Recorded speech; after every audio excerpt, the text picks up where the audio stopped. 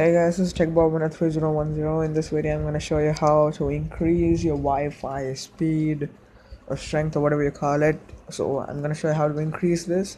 So what you're going to do is you're going to go to your browser and this is the default browser this and you're going to go to this website fasterwifi.net slash question mark page underscore id to 9 and you will see this page that will be there. Your wi-fi strength has been increased successfully. You can continue to use your internet connection. But please leave this page open to keep having better wi-fi signal. If you close this page your wi-fi strength will go back to normal.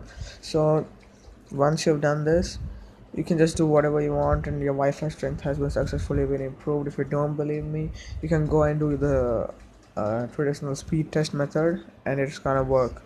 So this is how you do it. And if you want uh, to know how to do this.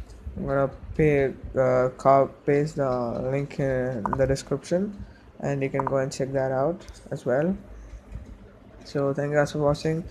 Uh, if you like this video uh, please click the thumbs up button and also subscribe to my channel as it really helps my channel grow. Thank you guys for watching. This is winner 3010 signing out